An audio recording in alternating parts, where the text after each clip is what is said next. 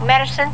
Uh, with the addition of a law school soon to open, uh, and no greater tribute to Abraham Lincoln himself than to open a law school through his namesake university and many other programs. We welcome you, enjoy the day, uh, and enjoy being with us as we celebrate uh, the legacy of Abraham Lincoln.